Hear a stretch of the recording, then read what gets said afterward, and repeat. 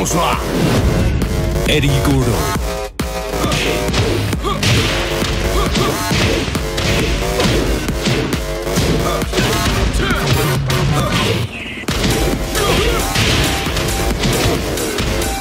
O que você quer?